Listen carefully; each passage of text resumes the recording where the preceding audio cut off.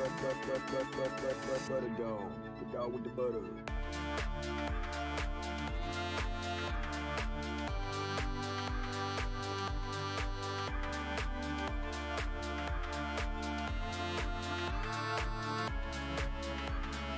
Butter dog.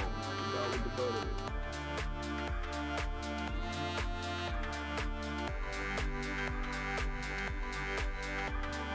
But, but, but, but, butter dog.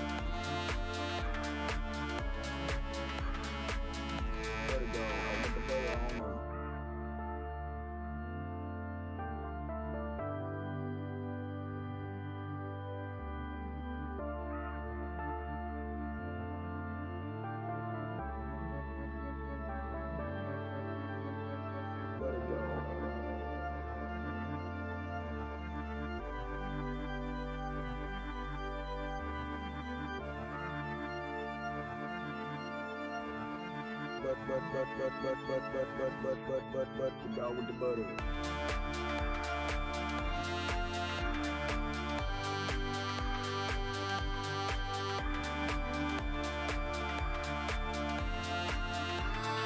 Butter dog.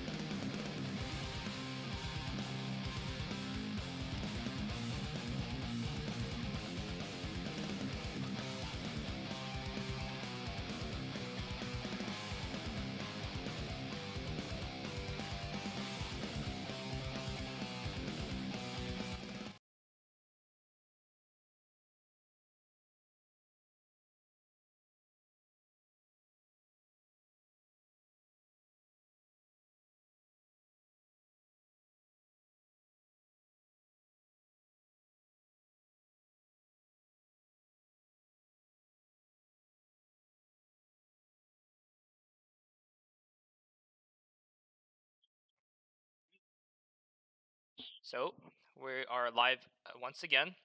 Welcome to our second episode of Reeesports Rundown. Uh, I'm your host Isaac, and this is basically a show where we just go down the most recent uh, matches in every almost well, every active uh, scene going on right now. Uh, I'm as I said, I'm Isaac. I watch mainly like League of Legends and Apex and Overwatch, but those two scenes aren't right now active. Uh, and on our left, we have Awesome.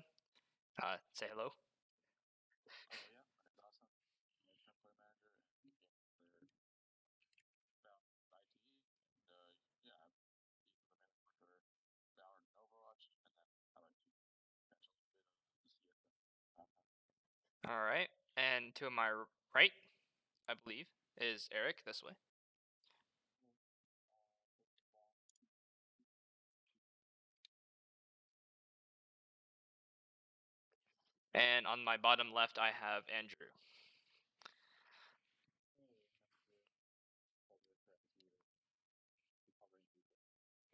Yep, and unfortunately, uh, Memo isn't here. Uh, he's not feeling too good, so uh, we will miss him. But yeah, um, apparently I'm having what? I'm having audio issues. I am having audio issues. Uh oh. Let me fix it out. Make sure Discord isn't on Voicemeeter or something. Yep, there we go. I think we should be okay now. Uh, Do we have to do the introductions again? yeah, scuff set up. Let's go. let's go. IT special. All right, let, let's let's just let's just go. Let's just go from left to right. So we'll start with awesome again. Okay. yeah, my name is Awesome. Uh, I'm the player manager at IT, and then also the game lead for Valorant. And the esports I mainly watch are Valorant Overwatch, with a little bit of CS:GO and sometimes League of Legends. Okay, and I'm Isaac. I play Apex. Uh, uh, not for the school anymore, but uh, I still play Apex competitively. Uh, I mainly watch League of Legends, Overwatch, and Apex Legends. Yeah, hi, I'm Eric. I play for the Valorant 8 team. Again, I mostly watch the uh, Valorant CS, a little bit of League scene.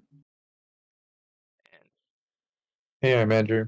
Uh, I'm the treasurer for IT, and I play mostly Valorant and League, and I'll be covering the League esports scene with Isaac. Yep. And as you know, we are uh, a bi-weekly episode. So this is our 20 uh, February 21st episode. We had one all the way back on the 9th. We had a school uh, school uh, day of school off, and we covered uh, basically League of Legends, uh, Valorant because those scenes were just starting up, and Apex. I had a special guest on for Apex because ALGS was starting back up, and uh, it was all fun and games. You know, it was pretty fun. But remember, this is a bi-weekly episode, and it will go live on WIIT the Friday uh, the Friday after this episode is recorded. So for that, it'll go up on WIIT on the 26th of February. Uh, be sure if you're in Chicago, uh, listen in on that. And if you want to join us and you're not and you don't know that we are on Twitch and you're joining from radio, we're live at twitch.iit uh, east, uh, twitch.tv slash IIT esports. I am forgetting words now. Uh, we are live. Well, this uh, this series is live every two weeks. So our next episode will be on March seventh. Uh, catch us in for that. And when since we got introductions over, let's move on to League of Legends. So for League of Legends, uh, we're gonna start with the LCS. Now the LCS is kind of uh, really interesting scene. We the standings right now we have uh, tenth place is CLG, 9th Golden Guardians, eighth FlyQuest, seventh Immortals, uh, and then tied for fifth. Actually, not even tied for fifth anymore. Sixth is now EG. The graphic is wrong because they just start they just finished their matches today. Uh, sixth is EG. Uh, fifth is Team Liquid, and we have a three-way tie still for second with TSM, Dignitas, and Hundred Thieves. And the sole control of first is C9. Um, so the LCS is kind of a really interesting scene, I would say. They had a pretty big mix-up after the uh, lock-in tournament with TL slipping and C9 actually the runner-up in that tournament being in sole control of first place. Uh, I mean, what do you what can you even make out of this region? To be honest, because TSM got dropped out really early, and now they're second. Yeah, I don't really know what's going on a lot of the time because a lot of teams seem to be experimenting with different things. Um, they're trying out different strategies, different patterns for their team comps, like drafting different things for different people. Especially if you watch a Tekken Toss, you see them drafting a lot of different interesting stuff. So it's been really interesting to watch. Um, a lot of cool things like showing out, like Kayn, even in jungle, and Tristana in mid lane or stuff like that. So I think it's really fun to watch right now. Yeah, and speaking of Kayn, let's talk about uh, our first team. That is a big surprise that everybody thought wasn't going to really make it all too much. Uh, Dignitas. Uh, Dignitas was, you know, power level to be a very bottom mid tier team, and uh, apparently Dardoch is playing uh, the alphabet game with junglers, pulling out like seven different junglers, and as you mentioned, the Kayn pick, and now Kayn is being actually kind of a priority pick in NA, and I think that's because of the the gank potential and the the fast clear that he has. So uh, he can get his solo laners ahead and play, you know, more of that uh, support type of get your people ahead and you know play the game out from there. Yeah, um, I've been really impressed with Dignitas overall. I see a lot of good things from Dignitas. I see Fake God and Soligo performing pretty well, and obviously they play around um, Dardoch really well. And the team overall just seems to co- um, cohesively play really well because they know what to do together, and they really like to play around Dardoch, obviously. And by putting Dardoch at their center, they play around the map really well. They take objectives together, and because of that, you just see Dignitas thriving from that. And hopefully you see a lot of more good play from Soligo and Fake God, both of them more the younger players that you haven't seen much of. And with that continued play, ho- hopefully the veteran status of like Aphromoo and Dardoch can lead them to some more victories. Yeah, and I think it's really interesting to watch these guys because Fake God and Soligo, they're not new rookies. They've been playing for a while, but they're just young, and uh, seeing them grow is actually kind of very. It, it's paying out for Dignitas because they've been on Dignitas for a while. Uh, even then, when they're like when Dignitas didn't exist, they're on developmental scenes, and now that they're in the LCS, they're proving their worth, and uh, they're they're they're trying to become more independent of, uh, from from like the ju- supporty jungle type style where they need their jungler to stay top side or they need this jungler to like help them in mid. And it's uh you know it's it's panning out for them really well. And um it's really interesting to see them grow. And hopefully they're on they're going to continue this winning pattern because they did drop a game um you know to C9 the the first place team that's that's you know predicted. I wouldn't say obvious, but it was very heavily in C9's favor. Uh, but they just picked up a win against who was it again? TSM. TSM. TSM. Yeah, TSM, and they're they're on like a huge win streak. They're on a four game win streak, and uh, I mean that's like a pretty good segue to TSM. Let's talk about TSM. Uh, Bjergsen as their coach. Uh, it looks like his coaching style is getting up, getting into um, TSM. His, their mid laner is basically picking these staple control mages, and and they're just winning through uh, great macro play, just like how Bjergsen would you know usually want to play as. Yeah, what do you know? PoE is really good at this game. Um, he's gotten a quadra kill on Azir in one of his recent games, and they look really good overall together. Um, I know Sword Art is trying to mesh better with the team, and the Sword Art lost bot lane, obviously a little bit shaky at times, but you still see them improving day by day, and I honestly think that's big part of the reason why TSM is also improving steadily. And because of that, um, because of how TSM is playing so well together, they have they got a four game win streak up until today, where it got snapped by Dignitas, obviously. But honestly, it wasn't even that bad of a game. Um, like the Dignitas TSM game looked very much in actually in TSM favor until obviously like Spica got stolen like at Baron and at Dragon twice. So because of those coin flips, smites just went away from them. But honestly, I think TSM still looks really good. And um, Huni playing more tanky top laners, supporting the team. They look like they found an identity that they want to play around. Yeah, and it's um, you know, Sword Art is also warming up to NA. I think he realizes that his teammates are not as good as uh, World's finalist Suning Gaming. Uh, but uh, he, it seems like his shot calling and his macro play is also starting to come out. It's nice for them to have an actual like shot caller this time instead of it's like Bjergsen playing through mid lane as their support, where he has a more, uh, you know, he's more accustomed to having vision on the map. He has a really good sense of where the peop- uh, where the enemy team is. Uh, so TSM, you know, looking really strong, and I hope they do, you know, keep winning. Because if they don't, their Reddit's going to explode. But that's that's that's on them at that point. Uh, so let's move on to Team Liquid, our third team of Point of Focus, and really unexpected. They looked really strong in the lock-in tournament, even on week one and week two. But then they, well, not really week one. They did lose to Immortals on their first game, but the, the other games they showed pretty strong on. Uh, but they've slipped. You know, they've they've lost like three straight before coming into this week, and I mean they're picking it back up. They're looking a little bit more like their usual self. It looks like um, Alphari, you know, he's getting these lanes uh, ahead, so he's getting his lane ahead. He's getting his jungler, you know, covered top side. But then when like mid game macro starts, they kind of fall apart and they don't know what's going on. So uh, they're trying to fix it. Then their win against uh, I'm I'm forgetting these games. C nine. When it's against C nine, they really played again. They really played well with their top lane, Alphari, getting the lead ahead and then just absolutely taking over the game. Uh, it looks like they're trying to fix it, but I mean, they're a little shaky sometimes. Yeah. Um, right now, I think the bigger issue is that Tactical is having a bit of an iffy time through the past few games. Um, he looked like he was dropping a few like easy opportunities where he just like just gets caught out or like is not doing enough damage for the team. But otherwise, like I think Alphari and Sword and Torrent, like despite them being new additions to the team, they look really, really good. And obviously CoreJJ being their solid like um staple on that team, I think this team can do really well. It's just that they look really shaky right now. They're probably working on some things between like how they want to play the game. And if Jensen and Tactical play consistently and play really well, I don't see this team ever losing. Yeah, and CoreJJ, as you mentioned, he's drawing so many bans. No team wants him on playmaking supports because when he's on these playmaking supports, he absolutely just rolls teams.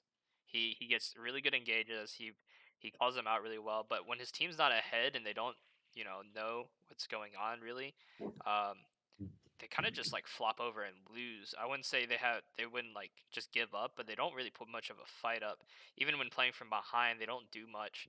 Uh, so they really need to get their their game together, the early game together. And when- they're ahead, they look dominant. When they're behind, they just kind of like are like a mid tier team. So I want I want to see a little bit more comeback potential coming out from Team Liquid. Uh, Alphari is doing really well. Santorin, I mean, he's a he's like a you know a stable jungler. Sometimes he has some breakout perfor- performances, but in, during this split, I think he's just really steady. He's like that uh the like the foundation of their team. And CoreJJ, you know, his macro is super good. His his engages are really good. He has a good vision of team fights, but um, sometimes they're just not all on the same page. Yep.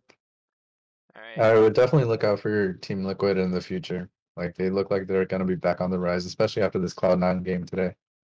Yeah, and they don't have that much uh, games left. Actually, there's only three weeks till uh, mid-season playoffs. So for them to come back into the limelight and into form now is probably more important than them suddenly becoming really good in in in, uh, in the playoff bracket. So really really good looks for them. Yep. Uh, so that's it for the LCS. Uh, I think we run down some teams to watch. My team to watch would be Team Liquid as they claw their way back out of fifth, and probably I still think Immortals is a really good and fun team to watch. Their Jose Diodo is still proving that he's one of the top junglers in NA, and they're really f- fun team to watch because they they kind of clown Fiesta sometimes. Yep. Uh, I agree with you on the Team Liquid pick there. They look like they're gonna be coming back and they're gonna be pretty strong. Um, I think a fun team to watch right now is actually Dignitas for sure because of how D- Dardoch is just styling on all the NA junglers, and um, I think he's gonna be great. So I think if you want to watch a fun team, definitely Dignitas is the team to watch. Yep. And as we wrap up, I'm gonna recap the standings. At tenth place, we have CLG. Ninth place, Golden Guardians. Eighth place, FlyQuest. Seventh place, Immortals. Uh, sixth is actually Evil Geniuses, not fifth. Uh, fifth is actually Team Liquid. Tied for second, we have TSM, Dignitas, Hundred Thieves, and in sole con- uh, possession of first place is C9. So now that we're done with LCS, let's transition over to the LEC in Europe across the pond. Uh, so these are the these are the European standings. The Europeans we have tenth is Team Vitality. Uh, eighth we have Misfits and Astralis. Sixth we have Excel and Schalke No Fear. Uh, fourth we have SK Gaming and Fnatic. Third Mad Lions and still tied for first, Rogue and G2. Uh, so let's start actually at the bottom this time of the LEC. Let's talk Astralis. Uh, Astralis is looking really strong. They just got their new mid laner, MagiFelix, and he basically single handedly made the Corki pick into meta. No one was thinking about picking Corki, and Astralis just picked it out uh, uh, for the uh, Azir counter matchup, and he absolutely looked great on it. And I mean, they lost that game to G2, but MagiFelix made it look competitive. And you know, when you're against G2 and you're a bottom tier team, there's no way that looks competitive. But he really did really well on that, and Astralis looking like a whole new team. Yeah, MagiFelix is definitely giving this team signs of life. Astralis looked like they were just about to roll over, looking like a last place, like bottom two team. But thanks to MagiFelix, um, he was really well known through the European solo queue scene. Uh, he, um, I'm pretty sure he got challenger in every single role, so because of that, he was really well known for that. But um, I know his debut on Astralis wasn't as expected, but he's really showing that he can be the carry for their team, and looks like because of that, Astralis will be able to win some games and hopefully maybe make playoffs. Yeah, and they're really, you know, don't let the three and eight score line fool you. Um, these they they've played like Mad Lions, they've played uh, G2, they've played Fnatic, and they make these games look um, really competitive. And sometimes they win out, like against Schalke. Uh, Schalke was going into the week actually pretty hot. Uh, not so much anymore. They've actually lost all their matches. But um, Astralis looking hot. They uh, beat a hot Schalke No Fear. Uh, they beat they beat Excel. Uh, they beat Vitality. I mean, like they're not a bottom tier anymore, and their scoreline may reflect that they're a bottom tier, but there's no way they're they're going to sit down there for long. All right. Uh, so let's talk about another team that is actually now on a losing streak. Uh, Vitality, uh, not Vitality, Fnatic. Uh, the person that, yeah, they've lost to Vitality. I should say that. Um, so Fnatic, you know, they were looking good last ep- last two weeks ago, like our last episode. They were looking good. They're being put together and throughout the week, and then they come into this week and they just start losing. Uh, really, I don't know what unclicked because they were looking pretty strong coming in last week. Uh, but they just look really disorganized, and I don't think they're adjusted to this Corki pick because everybody just picks Corki against them, and they just don't know what to do against the scaling. Yeah, Fnatic looks like they're a little bit lost, especially to that loss versus Vitality, and they obviously lost against Mad Lions as well. But that loss of Vitality really hurts, knowing that Vitality is not much, not a top half team. Um, Fnatic should be looking pretty strong, but ever since those two losses, they look like they're a little lost. Um, I mean, I don't know what's happening exactly, but I'm pretty sure it's mainly because Hilly and Upset don't have that consistency that bring that they really need to bring to the team. And because of that, they have sometimes these shaky games where they just look like they're about to lose. And obviously, Nisqy is the type of player where he likes to roam to other lanes to help the other lanes win. And that's his playstyle. So if the bot lane can't really hold their ground down, they're gonna have a rough time because Bwipo can't be one v nine in all these games. Yeah, and Bwipo looks like a really strong, like you know, top foundation type player, but I mean, he's left on an island most games because the jungler attention needs to be sitting bot lane, and they're just losing, uh, you know, losing out on most ganks bot lane. So they're not winning those. And also, like, even if Bwipo can get ahead in the top lane, they can't push their advantage. There's nothing to push there's nothing to take advantage of because their jungler is perma sitting bot lane or perma sitting bot side, and you know can't you can't put any jungle pressure on the top side. You can't contest any camps, and it all just kind of spirals out of control when he can't uh, is like eventually not able to do anything either because he wants to roam. He wants to you know get his laners ahead, and it just doesn't work, and it just their their playstyle kind of just like crumbles. Yep. Uh, it looks like they really need to fix up a few more things. Yeah, and hopefully they can. I mean, they're a staple in the LEC, and it, it's kind of weird seeing these new teams, you know, up here. and then without expecting to see the old old guard uh, coming back. But you know, that's just the the the way that time works is that they're they're not going to stay at the top forever unless they adapt to the meta and uh, play well. So speaking Right. of the new teams, uh, actually almost entirely a new team, uh, Mad Lions. Mad Lions, they're looking fantastic with Elyoya, their jungler. Uh, he was he's actually a rookie from Spain, I believe. Uh, he's really strong on these on these uh, meta picks like Udyr, Lilia. Uh, usually, when you see a Lilia, you just inch your face off, but he's looking pretty strong on there, and he doesn't die. Uh, and also, like the meta shifted a little bit, where we're seeing like gank heavy junglers like Kayn and uh, Rek'Sai, stuff that can get ganks off really easily, and he looks really strong on those too. So I think Mad Lions are really adjusting to this uh, to the meta shift quite well and quite quickly. Yeah, I see Elyoya playing really well. I see him doing a lot of good things on the map, and obviously this team is adjusting really well to play with him. Um, considering they haven't played at all until up until this season, um, this team was a bit of a question mark considering they let go of one of the better junglers in LEC last season. But Elyoya is filling up the role really well. Humanoid looks really good, and Armut looks also really good as well, despite being they're also their new top laner. So I think a lot of good things are going for Mad Lions. They look like because of the fact like the team is just rounding out really well and they'll be able to play synergistically really well. So I see a lot of good things, especially with the Corki in the mid lane and Lilia in the jungle too for some flexibility. Yeah, and Humanoid's looking really strong in this Corki pick.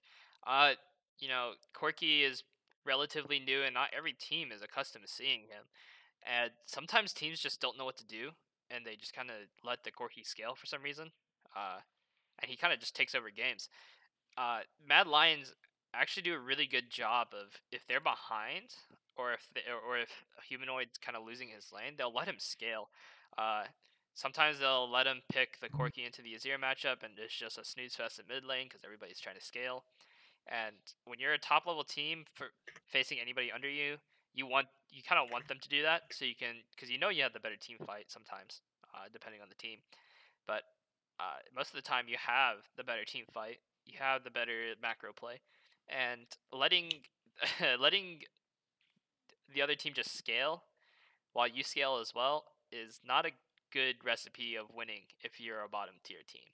And it's kind of I kind of don't want to see like uh level 1 cheese all the time, but when you're a bottom tier team, you got to have something up your sleeve to beat these hot teams like Astralis, like Mad Lions, like Rogue, G2.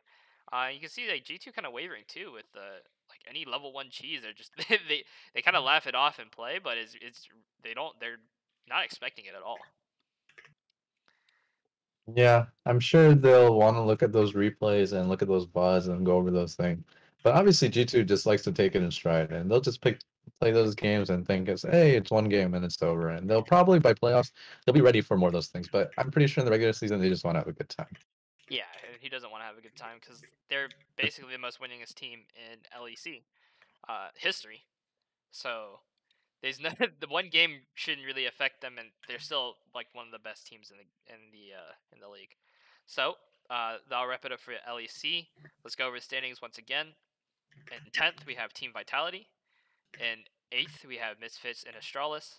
Team six, uh, in sixth, we have Schalke and Excel. Fourth, we have Fnatic and SK. Uh, third, we have Mad Lions, and first, we have Rogue and G2. Um, my team to watch really this these next couple weeks is Astralis, and uh, let's it's like Mad. Astral- Astralis is definitely one of the top ones because they're you know growing. They're looking they're looking really good improving a lot week by week. And coming into the uh, mid-season like playoffs, I think they're they're not going to take first, but they're definitely looking to upset many teams. And then on Mad Lions side, I mean, they're just adjusting to the meta really quick, uh, really quickly, and they're looking really competitive against the top teams. So I really want to see them push up in the standings against Rogue and G2, but uh, only time will tell. Hmm. Um, I also agree with you on the Mad Lions pick. They look really good, and I'm hoping to see them in the playoffs and perform really well, and hopefully contest G2 and Rogue for their money. Um, the other team I would really look out for is probably Schalke. I know they've been looking a bit shaky, but I believe in their players, and I think they have good players to play around. So hopefully they find their form together and they'll be able to play well. Yep, and let's transition over to the LCK over in Korea. So in the LCK, we have uh, in tenth we have Sandbox. There's a three-way tie for seventh: Nongshim Red Force, Fredit Brion, and Afreeca Freecs. Uh, fifth, we have the two telecom rosters, T- T1 and KT Rolster. And second, we have Gen G, Hanwha, and DRX. And in first, we have Damwon Kia. Uh, you know, the first, and then the first, uh, and then the three teams in second, they're not really that big of a surprise. They were in form coming into the week and after the lunar break. They're looking really good. Damwon Kia still looks really dominant, still in world championship form. Uh, but I really want to go to the gatekeeping teams of KT and T1. Uh, let's talk about T1 first. Uh, they keep signing these 10 man rosters, and at this point, it's like a 20 man roster because they're just pulling their challenger players up from the like up from the challenger teams. Like, hey, play in the LCK. Here you go. Uh, here's your shot. We don't look good, but uh, try to win. So like these 10 man yeah. rosters, I don't know if they're working and I don't think they are working. It's definitely a thing of the past. Yeah, uh, quite recently they debuted their new jungler Oner from their Challenger League scene, and obviously now are they an eleven man roster? We don't know anymore. They just look like they're lost. Like their coach is obviously trying different things, and it makes sense during the regular season to do that. But outside of that, they really can't find any synergy together. I mean, I know Nera looked really good, but obviously they're playing a bottom two team in Sandbox Gaming. So I don't know. Maybe T1 needs to really pick up their pace and hopefully find something before playoff starts. Nice, because they're playing with a different roster basically every game, and uh, they they they need to find something to settle on and work out the kinks because they're right now just patching holes in a ship that's already sinking. Uh, so, I mean, their T1, their development rosters always look good, no matter what, even if the team's doing good or not. And yeah. those players aren't going to stay in a in a dying T1. They want to move on to like superstar rosters, like Gen G or Hanwha or DRX. And uh, I, they just need to stop like bringing up these challenger teams because they're just they they're putting their talent pool out for other teams to grab them. Because like what if you do well in T1, and then you get put back in the challenger scene. Why would like if you proved yourself already, why would I ever want to go back to a challenger team? I'm just going to join another team that's struggling like Sandbox or Afreeca Freecs. Uh, mm-hmm. So hopefully they can get their rosters together. Uh, let's move on to the other gatekeeper team, KT, uh, who unlike T1 is actually looking really good with their with ex T1 jungler Blank. Uh, he came back from the Turkey scene and now he's playing his like signature picks. He's looking really good on a gank jungler. He came back at the right time essentially, as the meta shifted away from these farming junglers, uh, like Udyr, into like a more gank heavy jungler like Kayn, or you know Nidalee. He played Nidalee a lot. Uh, so for them, they're actually doing really well. Yeah, I think KT looks pretty good right now. They look like they can take over SKT really easily, and at any point, if SKT doesn't find figure out what they're doing, um, I think Doran is really good in the top lane. Obviously, cvMax um, promoted Doran a lot back when he was on. Was it Griffin? Right, I think. Yeah. Doran. So. Nah. Yeah, yeah Doran yeah, on Griffin. Yeah, Griffin. Yeah. Yeah. So he looks really good right now. And obviously, Blink is doing a lot of work for KT as well. I think Blink's like Visions game is one of the best or one of the better ones in the LCK junglers. So I think that's helping KT a lot play well around that. And hopefully UCAL will also step up to the challenge whenever he's needed. Because obviously there's a lot of good mid laners in LCK.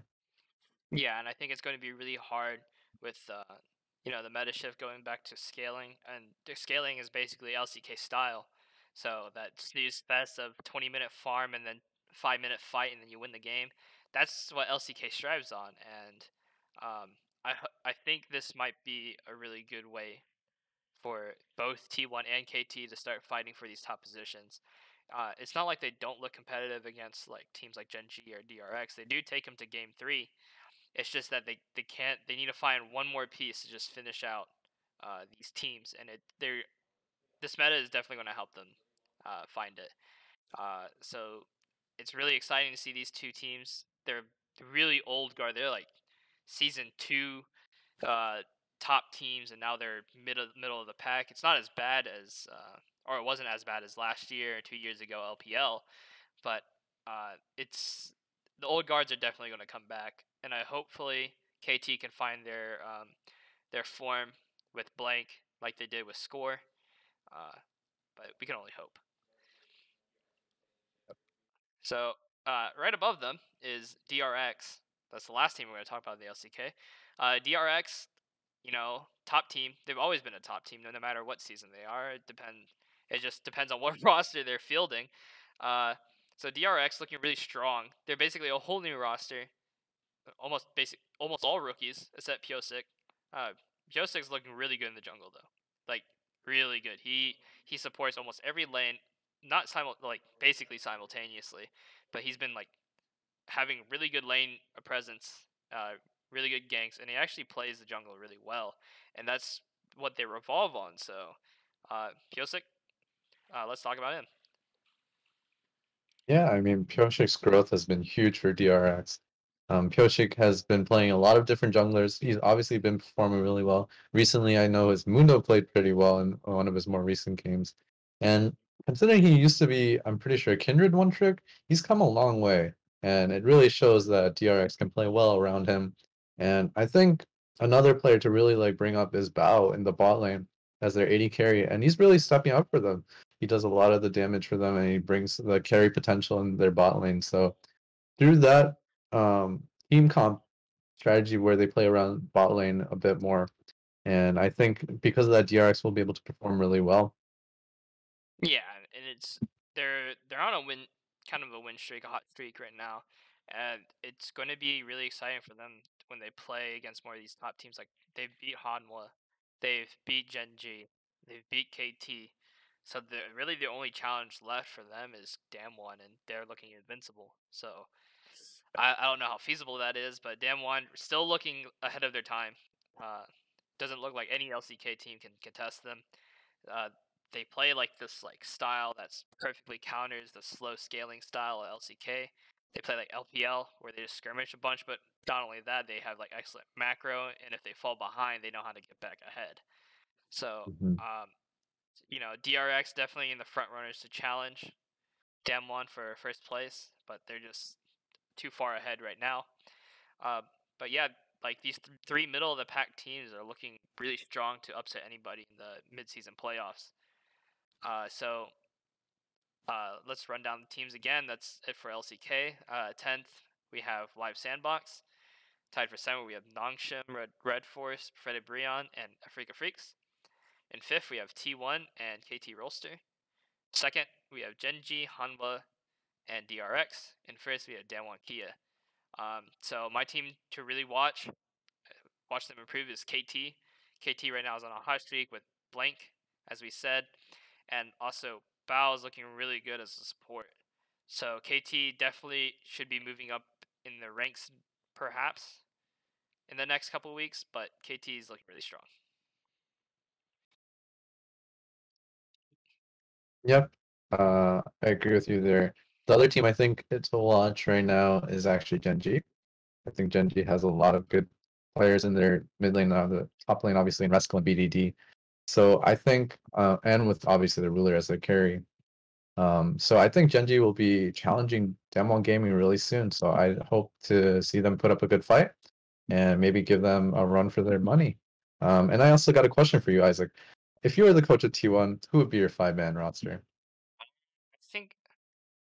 Since since a lot of mid laners are playing control and scaling mages, there's no way that I wouldn't pick Faker.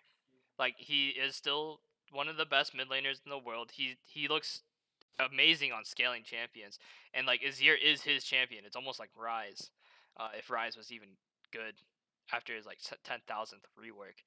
Uh, I definitely would pick Faker in the mid lane. Top lane, I still think uh, Zeus, even though Canna of is like on the sidelines right now. Uh, Canna is really dependent on his attitude and his, uh, you know, his his I would say like willingness to win almost like his confidence in himself. He's when he when he struggles, he struggles really hard, but when he looks good, he looks really good. But uh, that's just like too coin flippy for me. I still would take Z- Mhm. Zeus. He's a really promising rookie, and he plays really well in the top lane by himself. Uh, bot lane, I would really still go with Gumayushi. Gumayushi looks really good on the Samira, the Kai'Sa, uh, Aphelios. Even though Aphelios is more of Te- Teddy's champion uh, pool, Teddy's just not looking really good in the in the team fights. He's kind of like throwing his ults like anywhere and everywhere, and they don't have that much of an impact in the fight. Uh, then for jungle, I think I want to I want to go on the uh, on like a little little little risky side with Warner. Warner looked really good in uh, in live sandbox game. I know they're like the last place team, but Warner looked really good. Uh, and he looks like he could cover up what Ellim couldn't, and that's ganking. Ellim kind of struggles in ganking. He's more of like the Udyr type of farm type jungler, and Wonder just looks really good playing with the team, with with the limited resources he had. He play with Clozer and like Car- and Teddy and Keria. Uh, but then for support, I mean, there's really only one pick. They didn't really put anybody else. That's Keria.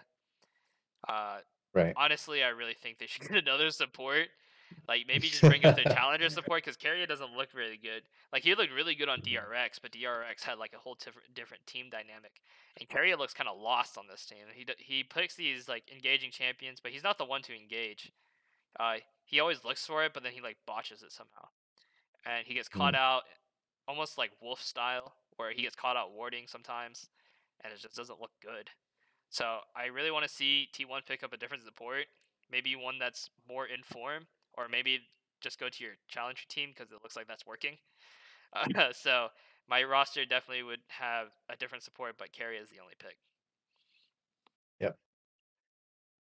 Uh, so like, uh, Uh, what would you pick? Like, out of the twenty people they have, what would you have? What would you have on their team? Uh, I agree with you uh, for most of those picks. Actually, in the top lane, I would pick Zeus as well. He looks really good right now. Obviously, Canna, Canna was really good last season, but he's having some confidence issues. So until he fixes that, I would definitely go with Zeus. Um, in jungle, I also agree with you. um, I don't know if his name is Warner or Oner, but um, I think it was Oner, but I'm not sure. So in the case that it's either or, I would definitely go with him, though. He looked really good against Sandbox Gaming, I think it brings new potential and new life to SKT, where they lack sorely in the jungle, kind of between Cuzz and Ellim, where they both look a bit iffy at times. Um, obviously Faker, Faker's Azir Ever since EasyHoon and Azir, or EasyHoon's Azir and Faker's Azir we're competing against each other, Faker's Azir year has reached new levels, and obviously I think it still looks really good. Um, the only part I may disagree with you on is the bot lane. And I would probably bring in Teddy over Gumayushi. The only reason why I do that is because I think having the veteran presence in the bot lane and in the mid lane will help overall for SKT to form because having a rookie jungler and a rookie top laner and then having a rookie AD carry as well will put a lot of pressure on SKT to perform, especially in like the more pressure situations like in playoffs or something like that. But having really secure veterans in the carry roles like mid or AD carry, I think will help T1 really play much better than they would if they had rookies in more roles than they than they wouldn't. So and obviously Keria would be the only support that I can really see so far. Yeah, uh, uh, I mean, we could talk about that too. Is like what support anywhere that like probably just from China to be honest, because China likes to come to Korea sometimes, and vice versa. uh, what support would you like to see in T1's roster come next split or even next season? Honestly, I don't know if there's any particular support in LCK that I would particularly pick right now that stands out to me. Um, maybe Life. Life looks okay, but honestly, if I wouldn't be, I wouldn't be surprised, or I would be surprisingly pleased rather, if someone from the LCS even came to the LCK, like maybe CoreJJ or even Hui or Ignar. I'm pretty sure any of them could probably fill the role better than a lot of the supports that are in LCK right now. I think they have a lot of potential, and with their veteran presence, they would probably help SKT a lot more, especially in, like shot calling. Yeah, and I think that you'd kind of hit the nail on the head for me too. Is the life? I think life would be a great pickup for Gen G. I really want T1 to pick a support that can shot call because I'm pretty sure Keria has a really quiet support uh, in his player camps. He doesn't talk very much. He doesn't have like Mm. that much engagement. Uh, so they're like, I'm, I, if I could listen to uh, LCK con like T1's comms, I'm pretty sure they're like dead silent for like half the game. Yes, this And is it- true. and it's just like I, I want like a shot calling support down in the bottom line of CoreJJ, and it seems like that's actually the move recently for the last Mhm. couple years is that the support Mhm. does a lot of the shot calling like Aphromoo does now with Dignitas, and what CoreJJ does with Team Liquid. Uh, so it looks really good for them. But I don't know that like T1 is just a really quiet team, and they need some type of direction to get them going because it's not it can't be Faker all the time. He's getting old. I mean, he's not he's only 25, but he's been playing League of Legends for like nine years. So he- Yeah. he needs a little he needs he needs a little bit of help, man. So Right, right. uh, let's uh let's wrap it up here. So for the LCK, again we we went already over it. So I mean, it's a fun region to watch sometimes, but lately now it's like sneeze fest scaling, and uh, Yeah. you know, Damwon does bring a little bit of life into it, but it's it's been pretty fun.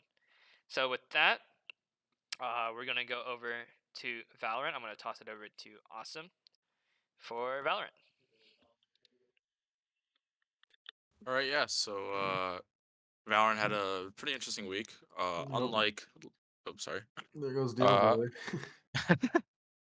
All right. Uh, unlike last week, uh, the matches were um kind of delayed, at least in NA. So I believe they started yesterday. No. They're- still going on Uh, right now, from what I know. Yeah, yeah, yeah. So they're still ongoing.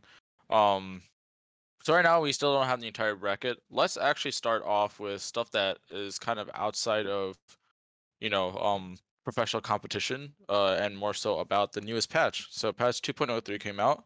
Um, you know, a lot, a lot of actually interesting changes. Uh, we knew that the Stinger and Frenzy nerfs were coming, and along with the Marshal buff due to the some some leaks. But uh, what we weren't expecting were uh, Reyna nerfs and Yoru buffs.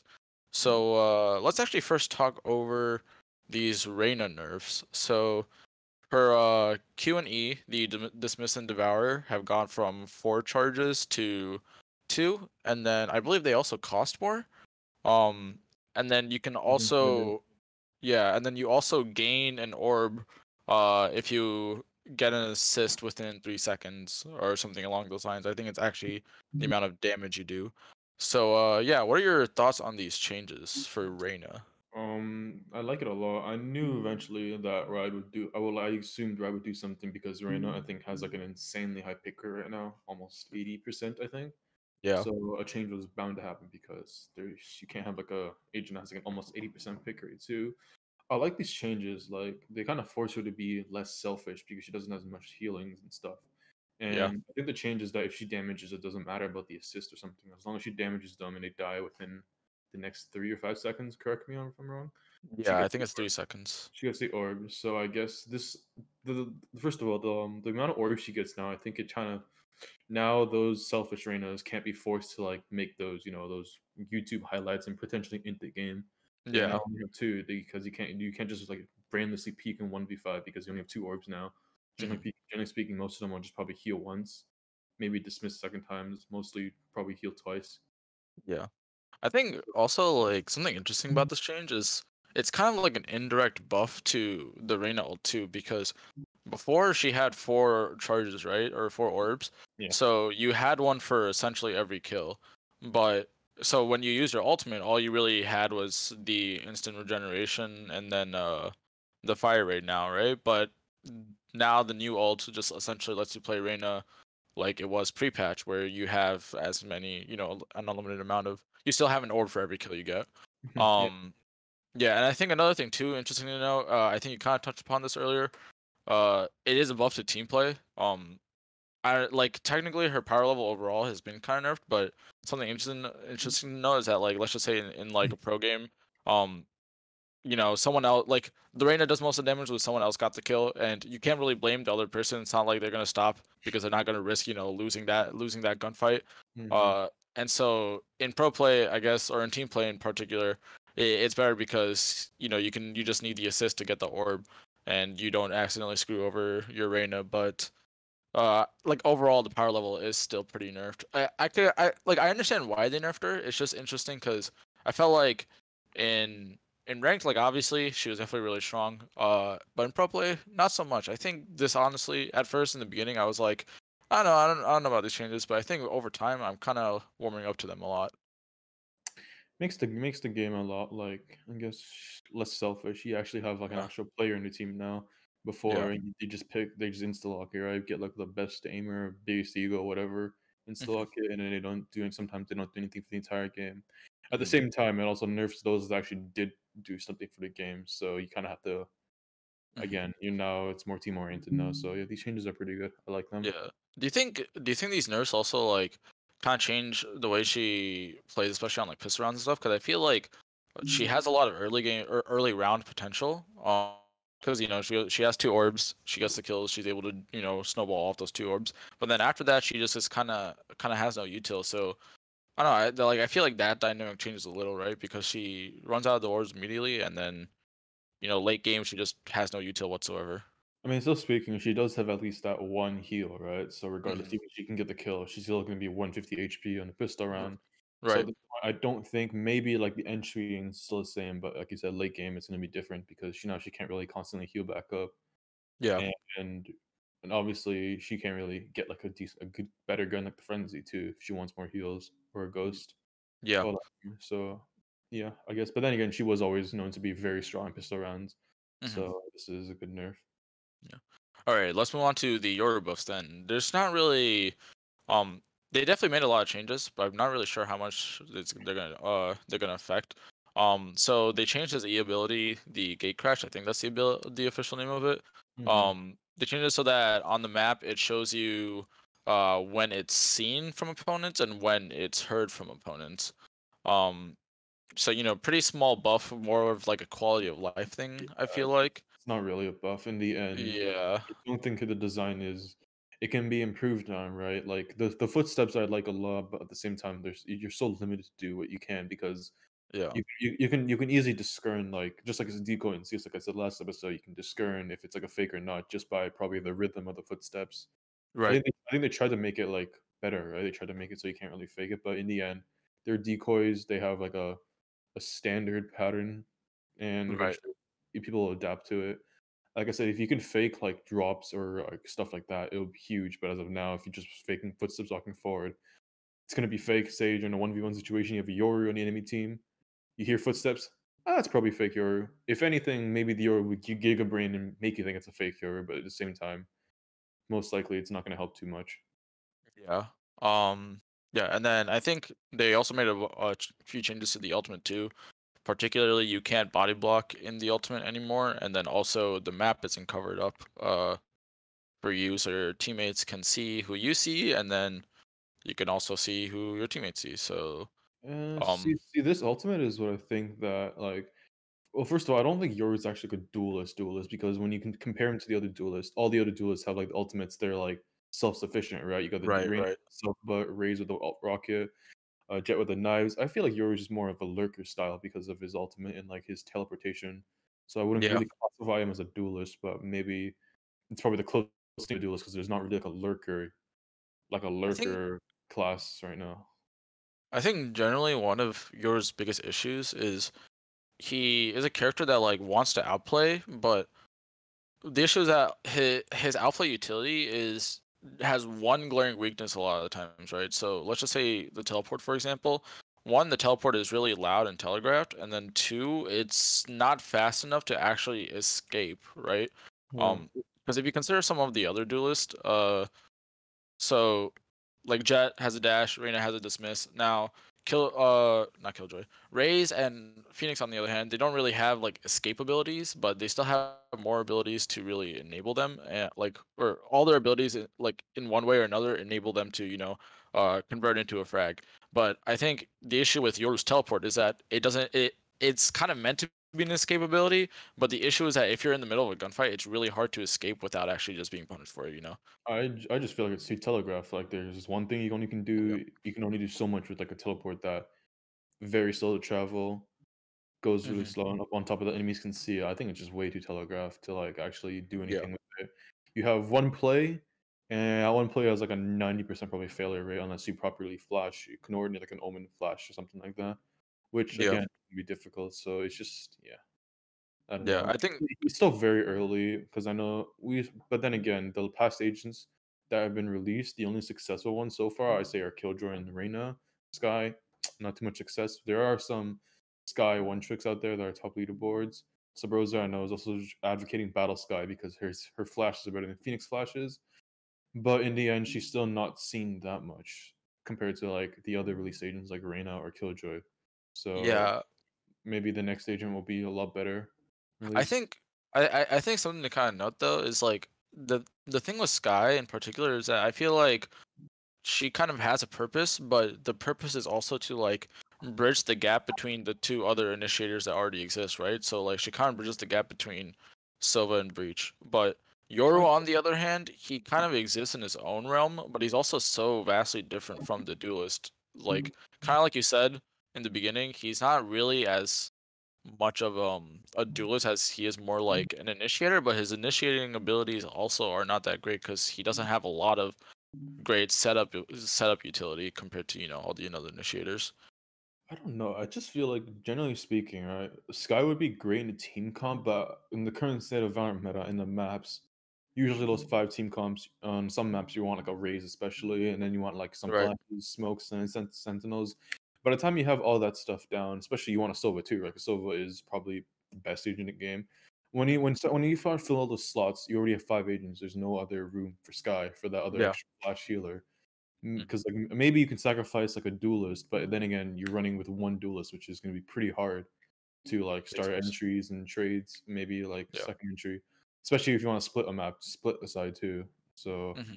I just feel like five agents. Th- I like the way like the agents are working on, but sometimes the roles there's just not enough agents in general to like fill out for all these because all these this guy's like a very niche pick, I guess mm-hmm. Yeah, to replace, but like at the same time, if you want to pick Skye for flashes, why not pick Breach instead? Breach is like designed for that. yeah, And if you want recon, why not pick Sova? Sova can do that even better. It's just that Skye and it's just a combination of that, but like you can't Yeah. but like in the end, if you want flashes, but you also want a healer, maybe have a duelist pick flashes instead and brings like Sage or something. I don't know. She's Right. just way too she's Oh. too much of a jack of all trades. Like Yeah, it's just master of none. Yeah. Yeah, Alright. Alright. Yeah. And so let's talk about uh the next thing in the in the patch notes. So Marshal buff. Um, I feel like the impact of this has yet to be seen, but it's kind of interesting that they did decide to buff the Marshal, in my opinion, because I felt like it wasn't overly weak. Um, maybe it could have seen more playtime, but I, I, I didn't. I felt like uh, its strength wasn't really an issue. Um, so they made it so that you can move at 90% speed when scoped in now, and then also, um, you scope I think three times zoom in now rather than 2.5, and then also, uh, it's a hundred dollars cheaper or hundred credits cheaper. Uh, yeah, what are your thoughts on these changes? the movement speed and the price changes are really good. What I don't know about is the 3.5 times scope because I don't because I tried it in games and I really don't like it. It's Mm. just it's weird. Like it doesn't. Some people say the scope before was too little. Right now, I feel like the scope is too much for a scout. I guess it would be nice if like it was a scout like CS:GO where you have two zooms, but at the same time, it's just I don't know. I don't know if it's a buff or it's a nerf. It's definitely a buff, but at the same time, but the 3.5 times scopes might actually limit some people because some people actually don't like that. You know, they're used to 2.5 times scope. Yeah. Close range, you can play at long range. I guess it's not too hard to play long range, especially with the insane fire rate. I think 2.5 it's al- scope is I don't know. it's also very map dependent because um like for example that might be fine on like a map like ascent where you know you can just watch down mid or Mhm. haven see long but like on a map like split or you know some areas on bind maybe not bind be long but you know other areas of bind it's just it, it might be a little suffocating um say overall but i feel like on on maps like ascent or uh you know some areas of haven it might be you know a welcome change. Um but yeah i think overall like we still have kind of see what the um overall effectiveness of this buff will be. I don't really think it's going to like push it into like you know a dominant pick. It'll definitely be a lot more viable, but it's not going to be like the new Stinger or something. I don't know. I don't think I don't think there's gonna be any. uh, I don't think it really has that ability. Uh, yeah. Speaking of the Stinger, um, Stinger and Frenzy gets a nerf. The Frenzy not as a big one, but the Stinger, um, on the other hand, does. Now the Frenzy nerf only gets a hundred dollar price increase, so you know buying Frenzy armor on a pistol round not as viable. You can still buy Frenzy util, but um, probably not as uh desirable. Uh, Stinger actually gets myriad nerfs, so man, I actually have to remember what they all are. So Uh, 16 lower, lower fire rate. Uh, price has been. Been increased? I think I don't know. yeah, the by lower 100. fire rate, the more recoil. I think the the max recoil would like hit after six. I think it hits after four now. Is the Mhm. recoil has been increased for both the full auto and the burst right. and lower rate of fire. So it is a pretty big nerf. And Yeah. completely needed because that gun is absolutely ridiculous. Yeah, I think. Yeah, I mean, it's really boring. It's really boring sometimes to see uh, every pro player just buying light armor frenzy, and then next round all you lose force up stingers, and even the uh, Yeah. team that won, oh let's buy stingers because Spectre is trash compared to the stinger. yeah, like for five rounds, you would just force buy, and then Yeah. until someone can finally get a full gun round. Yeah. Um, but yeah, and I mean, it, I I I really like that they went for both a price increase and you know actual changes to the gun because if it was a price increase, that wouldn't have changed much because you could still you know keep force buying over and Yeah. over again.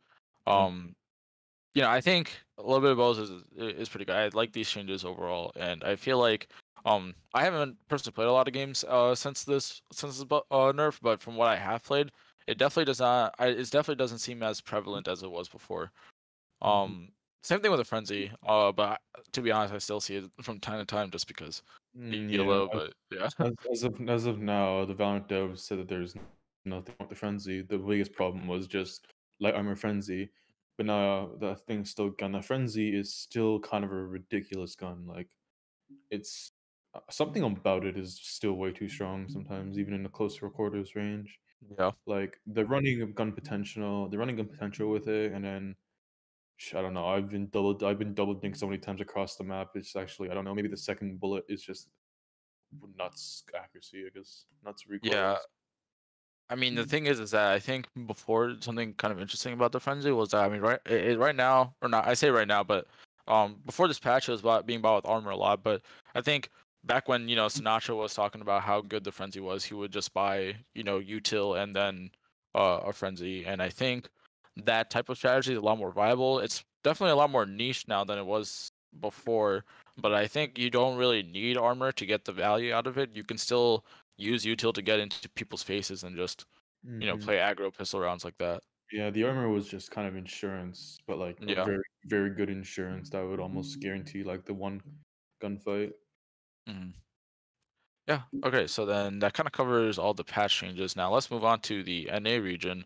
Um, there were a few uh roster moves. So firstly, um, big changes for Andbox. They they had a couple of changes. So one, Rebo has been officially signed for Andbox, Poach potentially being dropped, and then uh Android is actually leaving and joining NRG.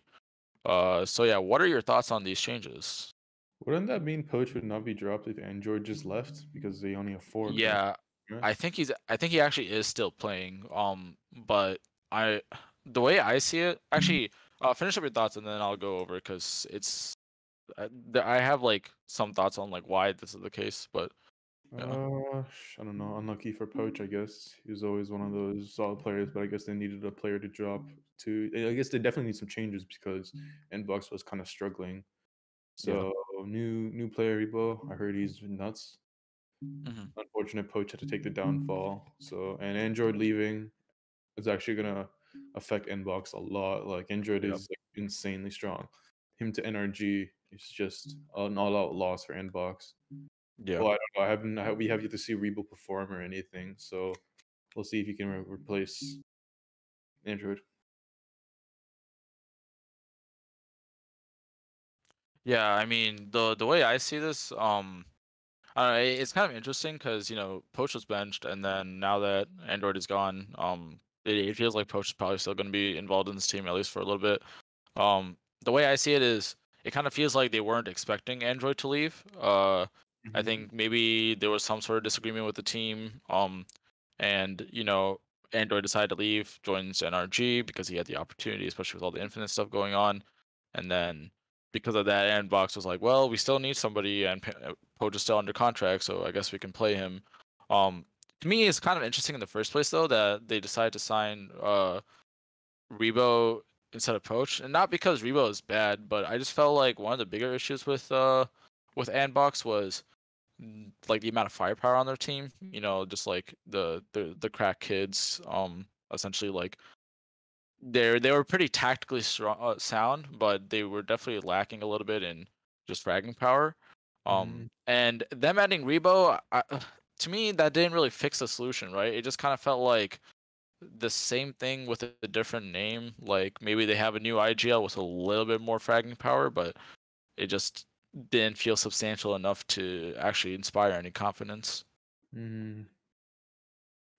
Yeah. Yeah, I don't, again, it's like a new, brand new team. They're making roster changes, trying to figure out what works for them. They gotta do start doing some scrims soon, and then when the tournaments start coming, then we'll be able to see how they do. As of now, not everything is just on paper doesn't look too good, but maybe in person there is like some secret, amazing chemistry between these guys. We'll find out. Yeah. Oh yeah, so then uh ano- what do you call it? Now moving down um to the next thing. Uh Phoenix One, another organization not paying their players. Uh yeah, Uh, I mean so I've heard this from. I have a friend that plays for formerly played for Phoenix One. They're like a small tier two org, I guess, that won a couple tournaments. I think the Knights, the Knights Invitational, and another small tournament. Totally, they should have received mm-hmm. approximately thirteen hundred US dollars, which, from what I've been told, none of the players, including a fifteen-year-old guy on their team, have actually received. And they're they have left now. They have left the org. The org has stated that they've been paid for mm-hmm. con through their contracts, but apparently none of them have actually seen any of the money and it looks like it looks like even the org already had some scummy things behind it like they before the phoenix one org was like actually part of the sentinels brand they just took it and rebranded into phoenix one and now Yeah, it's just $1300 from two tournaments. The org requested the money to be paid directly to them which they said they'll pay the players mm-hmm. and now the, none of the players have actually been paid which is unfortunate. Huge a little bit of drama. 1300 is like not a small money not small. It's pretty huge especially for a 15 year old kid that wants to like maybe upgrade his setup too you know? Yeah. I mean, it's yeah, that's that's definitely a substantial amount of money. I mean, this kind of is just you know, um, another like symptom of esports, like the esports industry, especially you know, new esports and uh, you know, not non tier one, even in tier one esports, this happens from time to time. It's just mm, the scene, uh, you know, the scene right now is really open, and there's not enough relegation to prevent this stuff from happening, and you know some org- some organizations are going to be really scummy about it and they're going to take advantage because they see it as a way to make a quick buck. And if things Mhm. don't go well they just can hoard money if they need to. They disappear straight into thin air go no contact with anything. Yeah. just un, uh, just unfortunate situation for all of them. But now apparently they've been signed to another org. We still have yet to hear an announcement from them. Mhm. but all their players are very good players. The 15 year old guy right now zekken i think he's ranked 20 right now on the Mhm. leaderboard so nuts to him.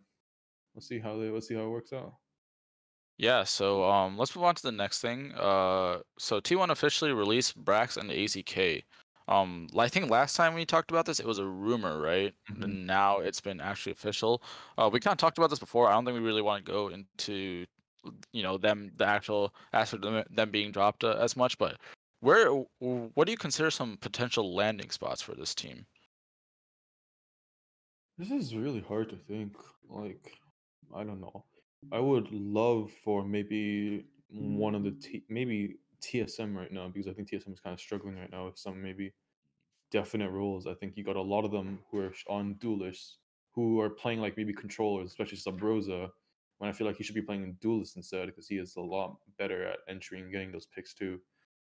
But then then I- what about drone. That's what I feel like. There's too many like there's there's a lot of players there that are just in their like in their sub sub like sub roles. You know. Right. Um uh maybe it's I wouldn't say Andbox.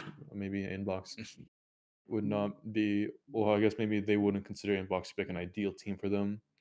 Right. If anything, um what teams are struggling right now? I can't really think because all, all all the teams right now seem pretty solid. Like at least in terms of like cohesion, I guess, teamwork, except for maybe like TSM, but TSM was like a group of I guess sort of close friends too, right? So Right. it's kind of hard to separate that. Yeah, I mean, I think there's also I think uh, uh, this has been like been thrown around a lot in like social media and stuff, but the possibility of them kind of forming their own team with like other people that have been recently dropped, so like coach for example, but I'm not really entirely sure how that would turn out That wouldn't be a terrible, terrible idea because they need yeah, in the end they need to like form a team. So they want they want a team somehow, right? It's just unfortunate T one T one is just not just unfortunate T one is just not the team they hope had. yeah. Um, yeah, I mean, I don't know. I feel like for me, it would be really interesting to see if there would be some way to like uh slot them into FaZe. Now the issue is that FaZe, uh, I don't think they're gonna break up because they're it's very similar situation where they're all friends, they're all former Overwatch players, so they kind of just want to stick together. Um, but it's just that I feel like players, at least not these players specifically, but um players like them can be added to a team like FaZe and you know change them a lot because right now FaZe is literally just they they just always want to be doing something and they it's really hard watching this team because they are like It's just the the pugging, worst. it's just the pugging Yeah, at this point. Like you just pick the five players in ranked and then just had to form a team and play against tier one teams. Like yeah. it's They're like the they they're like the worst team ever that like actually ends up winning like games from time to time. It's really it's really weird. And I think like it, it's interesting too because Corey recently had an interview and he's like, yeah, the reason the way we are is because most of us come from Overwatch, so like we always have to do we always have to be really active about whatever we're doing, so we just don't like waiting. But I think the one of the biggest issues that one they don't really have a coach, especially not one from CS, and then they only have one CS player, so there's no one to really drill that into them, you know. And I think peop someone at least like Brax and uh, AZK could you know help them uh, out in that in that sense. Um, yeah, more of Brax potentially AZK because AZK is a lot more like I'd say more experienced, older, maybe a bit more mature than Brax.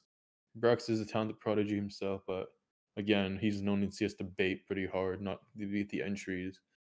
Yeah. So potentially, maybe AZK would bring like a lot more to the team in terms of like tactics. Because AZK was a great support player. You can probably he's probably learned a lot from like maybe Steel and Days, so he could probably bring that too. Then again, you could say the same for Brax, but mm-hmm. I feel like maybe in teams Brax just does his own stuff, and he gets those gets those picks. yeah, that's fair. Um, okay, yeah, and uh, you kind of brought up TSM earlier uh, uh on this topic, but uh, let's talk about their challenge performance. They actually did not qualify. They did not make it to the main event for Challengers two. Um, actually, let me double check what team they actually went on to. I kind of forgot. Um, events. Hmm.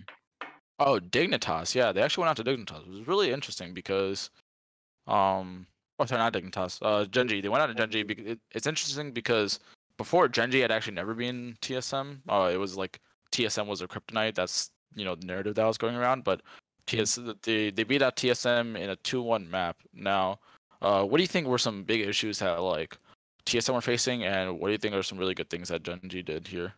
TSM, I don't think TSM has like a dedicated like Sentinel player. Like they like to run comps without the Sentinel, triple duelist, the Skye, the Omen too, maybe a Sova, but they don't. I don't think I can like name a player on TSM that will play a Sentinel. Maybe Hazed Yeah. who has played Sentinels before, but Hazed is more of a better Omen player. He's a lot smarter with Omen and potentially better. Cutler is like a more of like an initiator. He'll play the Sova. Who else is gonna play Sentinel? You can't put the you can't put Subroza on Sentinel because his aim is nuts. He can entry really well. Drone, you can say the same. Drone. Wardell, Wardell, he's an operator. Maybe he's putting a Jett. Drone, he's known for his great Phoenix. So they they're lacking they're lacking like a dedicated sentinel player. They just have like maybe two players that have like concrete roles. You have one of them that's like a, maybe in a confused role, which is Subroza, I'd say, and then maybe a hazed and hazed and Cutler. Cutler was always on like initiators and stuff. Hazed, on the other hand, will stop between Omen or Killjoy. It's just I don't. It's just yeah, they're just lacking like a like a dedicated sentinel mm-hmm. player that will help them really well. Maybe Yeah, they can drop one of the players, pick up Brax because Brax has been playing Sentinels too, you know. And I'd say they're all Stoke friends because they all come from a CS background too. That's probably going to be a decent roster change, I say. But again, these are all on paper stuff. We don't really know Yeah. what's going on in behind the scenes and stuff. Yeah, and I think something else to kind of go off like the lack of dedicated rules thing is that they also do not have, um, as far if, as far as I remember, they don't have a dedicated IGL, right? They kind of swap between, um, who's calling, uh, on one map depending on what role there's th- that's being played, and I think that's also a big issue. You can kind of see that, um, that that lack of structure from like their performance from map to map. I think also something kind of interesting to note is that, um, before, especially like during last challengers.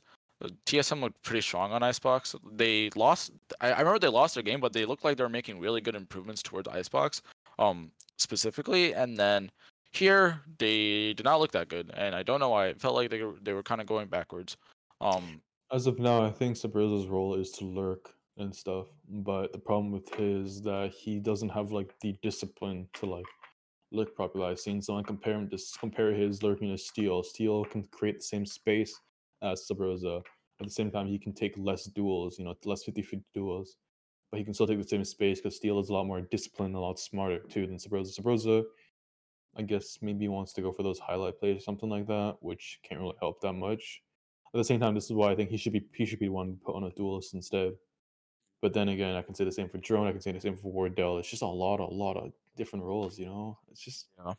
I don't know. It, it's it's nice that this team got so far, but now you can see that their, their lack of sentinel is starting to catch up on them. Before they were on top because of their teamwork and their experience together, but now the other teams are starting to learn, starting to catch up, starting to scrim more, starting to get more experience. You know, learning the game more. Their lack of sentinel is starting to bite them at back. Yeah, I mean, I think uh, this last week has kind of shown like how quickly the that gap is narrowing. You know, a lot like I mean, we'll we'll- get we'll talk about this later, but 100 Thieves losing to LG, and then you know eventually getting out of the uh the uh getting out of the event overall. So that also is something that like to consider when I'm talk when bringing up that conversation. A lot of these teams are so like the teams are con- previously considered tier two are catching up to these tier one teams a lot. It's not just any tier one teams. It's teams like Sentinels, teams like you know 100 Thieves and TSM. Um, that gap is like closing pretty fast, and I'm not sure if TSM is like able to catch up with that. I think for the other teams, when it comes to Sentinels and 100 Thieves, especially Sentinels, they've made the adaptations to you know quickly catch up to um what's got like the the way that the the meta or just the game itself is changing, and TSM um is a little bit behind in my opinion. Mm-hmm. Yeah, like I've been like like again, most of the victories is because Wardell just straight up stepped up to the team, put it on her back, and just dragged them to the finish line. As of now, it's no longer the meta is no longer triple duelist. Let's win all the aim fights. The meta is now you need you need a sentinel to hold the site. You need to like learn to play those retakes. You need to get those picks too. It's just it's just the era of TSM dominance. I don't know if there's even one in the first place, but they were like a top top three team in the world. Now they're now they lost to Gen G, who aren't even top five right now. Yeah. We'll see. Yeah. Um. Okay. And then lastly, uh, let's take a look at the this bracket actually real quick. Um, we now this is still ongoing. Uh, the note the let's talk about some of the notable matches. So Luminosity taking out 100 Thieves. 100 Thieves going into the losers bracket here. Um, yeah, I don't know. This game to me seems the this game watching it just seemed very odd. Um, Luminosity did a really good job. I feel like. Uh, they were able to turn around a lot of a lot of you know um situations that were definitely in the favor of 100 Thieves and just win rounds they had no business winning. Um, now some of that obviously to the mistake of or were due to mistakes of 100 Thieves, but I think a lot of it also had to do with just how great Luminosity was playing in, in some rounds. Um, on the other hand, Hundred Thieves. Now, last time last time we talked about how Dicey was kind of underperforming, um, even though you know Nitro wasn't in. Uh, but I think this time around, Dicey was actually you know playing playing pretty well. It was more Asuna was that was kind of underperforming in this game. Mm-hmm. Those are exactly my thoughts. Dicey really stepped it up. He was decided to show how wrong we were, I guess, last last time. Yeah. This time, this time he showed it up. Now, now Asuna, who he praised, is going down now. I guess. I mean, he was on a stage one time, which I don't think I've ever seen him on stage. Y- Yeah, I mean, you, yeah. Thanks for bringing that up because that actually kind of reminds me. So, actually, taking a look at their something that that is really weird to me. I feel like Hundred Thieves is kind of they they really need to learn, not learn, but they really need to figure out something for Icebox because, uh, on their Icebox game, uh, let me actually pull up their composition because I remember looking at it and it was really Nitro, really weird. Nitro was on the Omen, Steel was on a Killjoy, Dicey was on a Jett, Hiko on a Sova, and Asuna was on a Sage. But Yeah, so that's yeah, that's why I think it's interesting. I feel like it's really weird um that they decide to go for both the Killjoy and the Sage. I feel like Steel kind of just needs to um you know, pick up the Sage on on Icebox here and then, you know, Asuna is should be able to like able to play the Reyna. You know, his, his Reyna is great and Reyna is actually really good on this map. Um I, don't really um, I kind of, I don't, I kind of disagree with that. I feel like St- Mm. Steel is a lot better with a lot more information-oriented agents, right? Like the Yeah. Cypher the Killjoy. So in a Killjoy, I, I've seen many great setups with Killjoy. Like you can hold down B pretty easily, you can hold down A really easily. The problem with Icebox is that you need to have a Sage in order to like get Yeah. kitchen control. That's what I do not like about it. Because in the end, if you pick this map, you have to play a Sage. Otherwise, the moment you lose control, I feel like the round is almost lost because that kitchen control controls most of B, most of CT spawn, maybe even like mid control. It's just an insane spot to have control of, and the fact that Yeah. this Sage is like able to like you know straight up single handedly deny that, I feel like the map needs to be adjusted.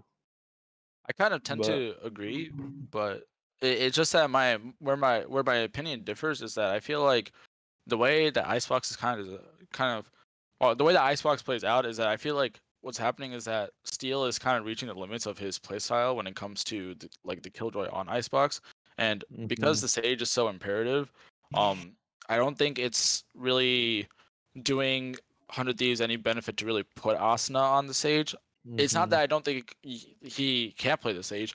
It's just that it's not his playstyle. it's not his playstyle, and it's just that if you have him on a character like the Reyna, it, it, it will just improve their icebox so much more. You know? Mm-hmm. Like yeah, And- his his role is literally the entry fragger, and they decided to put the entry fragger on like an agent that not supposed to entry. It's just I, it's just Especially on not- Icebox, There's not really there's not really that much options to choose apart from the obvious one, which is Steel. But again, Steel's Killjoy and his Cypher is amazing. I have we haven't seen the Sage yet, but I would assume that considering the way Sage on defense is just you wall off mid, go play somewhere else. That's not. I don't really think that's his style. I think his style is just to sit on a site and just wait until like the last moment, then they start rotating because he likes to lurk. He likes to Yeah. catch those rotations. I feel like his role is that I don't think I don't think you know Sage really does that because he can't really tell if they're gonna rotate with mm, Sage. Yeah, that's true. That's true. You know, I, I what do you call it? I think eh, we kind of brought this last week. We we talked about this how Sage really isn't um Mhm. a sentinel character. She's more, you know, she she kind of plays more like an initiator, and sometimes like in you they kind of play her like a duelist. Um, Mhm. and I think part of that is kind of one of the reasons why Steel is so um adverse from playing Sage because, you know, like, like you mentioned, there's not really a lot of info gaining tools that she has. Now, that being said, Sage, Sage on Icebox is like one of the few times where she is played a lot more like the Sentinels because she's all she's very good at holding down areas on Icebox specifically. On other maps, she can hold that she can slow down like a push or something, but it's not as good as holding down an area when compared to the other Sentinels. Mhm. Um, now Icebox uh, that's different from the for the reasons I mentioned before. Um, this is this could be an interesting change. What do you think about potentially Hiko on the Sage? I don't think overall that's like something that they should do, but I think that's something that like they could explore. I don't know. I I don't think overall it'll have great results, but I think it's definitely like an explorable option, and I could Mm. be proven wrong. I'm not too sure. I I think Hiko Sova is just way too strong in order to take him off the stage. But then again, this Oh, also applies. Sova is insane. This also applies to almost every single player. You know, like Dicey on the Jett. We've seen him on stage before. He did not really perform. Asuna, you can't get him off the Raze or Reyna or Phoenix. He's just too good at entering. Nitro again, Big Daddy Nitro. His smokes, his plays, his flashes, his brain. I don't. Th- I don't know. If you take him off smokes, who else is gonna play smokes? You know. Yeah. So kind of just locked in that role. He goes over, like I said, sent steel, sent sentinels, set up sentinels. Mm. Again, I don't know. Though this lack of agent pool is kind of hurting them in a sense for Icebox. On every other map, if it was as long as it wasn't Icebox, they will win, but or at least contend in. If it's Icebox, it's definitely their weakest map. So maybe the team, maybe other teams will start abusing this and play Icebox first because other teams are starting to run the Viper, Sage, Yeah. Sage, like agents, which are like S tiers on Icebox. And Yeah. the fact that 100 Thieves have yet to still adapt to this is a bit concerning. Yeah, I think the hero pool thing you you bring up is also really interesting because I think like Nitro and Hiko, as far as I know, uh, from like as long as this iteration of the team has existed, they the, like they have only played Omen and Sova respectively, right? Mm-hmm. Um, and uh, not not to say that like they should they shouldn't be on those characters. It's just that they're so like like in in this type of situation when you know like a sage would be so helpful on this map who who who takes it over right because everyone else is just you know also in a similar situation Mm-hmm. Well, then again, we have yet we haven't really seen an intro play officially on Omen on on any other agent, but Omen maybe. Yeah. I don't think I've seen. him- I, I think he's only an Omen player. Yeah think. he he's only played omen ever in in official matches Interesting. And i think hiko too ever since this version of the team has been I formed has only could, been I could honestly see him as a Sage player because of his play style, but like then again, who's gonna pick up the smokes? I have Yeah. I mean, maybe I don't know, because if you talk about like maybe running, maybe running Viper, then you could uh, potentially have like, um, Hiko forego the uh Sova and just play the Viper instead. But then you know you lose out on the Hiko Sova. Um, maybe you have Austin on the Viper and he plays Viper a lot more like a duelist in a lot of situations because you know you can go for those isolation plays with the wall, but Mhm. then you're running out on the ability to cut off um or you know the, Viper, the, Viper, the. Viper mollies are very good too. yeah so i don't know it's very they they had to figure out icebox i i think something starts off with some sort of like uh role adaptation from either like steel or hiko in my opinion. It, ha- it has to be one of those. I don't think either of them are, are bad players on like you know the roles that they play uh overall. It's just that on icebox particularly whatever they have right now i just don't think is working out too well. I think they're it just they're starting to see the limits of you know of, of like the stuff that they've been doing for a while Mm-hmm. Yep. Their their lack of agent pool is starting to hurt them, just like TSM's lack of defined roles. yeah every, every every team has a weakness, so hopefully they can start they can overcome it. Maybe they'll make like a very very drastic change and like just start practicing pretty hard. We'll see. Yeah. Time will tell. yeah and now the next notable match um let's actually talk about sentinels and then 100 thieves so this match actually just got done fairly recently sentinels 2 owing 100 thieves here now honestly sentinels are kind of running a clinic especially on ascent um which is really weird because ascent is kind of considered um a lock-in for 100 thieves when it's sentinels versus 100 thieves but this time i mean it seems like sentinels were outclassing them in every way uh yeah what, what were your thoughts SicK Smurfing again on Phoenix. No idea yeah. why he was ever on the stage. He's a great on Phoenix. yeah I guess even on stage he was a pretty good. yeah he was insane on stage too just a general great player. yeah i mean That's pretty much it. The entire entire game, all I could see, in a sense, all I could see was just SicK, just killing everyone.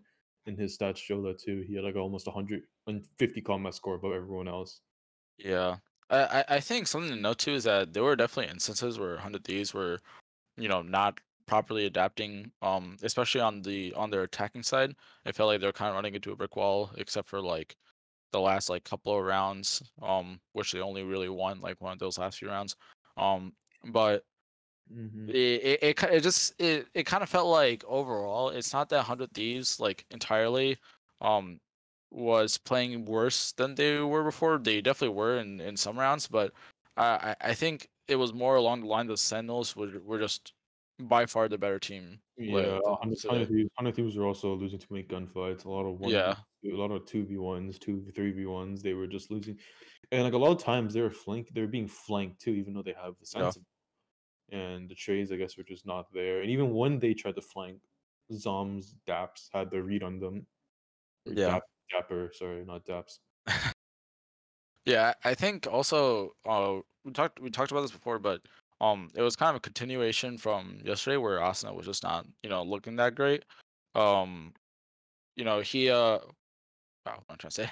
Yeah, uh, uh like and on their on their attacking half, they Asuna was like not to, you know, emphasize scoreboard, but you know, it, it definitely is something to to bring up, but Asuna had like two kills at the half and then literally like his de- his defense was a lot better, but his impact on attack was not very high. I think a lot of what like what was going on was that they just were simply not able to take enough space on you know wherever Asuna was pushing because he was just kind of underperforming. hmm Yeah. Again, maybe again, every team has those slumps. This is one of them I guess we're looking at. Hiko Yeah. not playing as well as we thought on the Sova, as we hoped.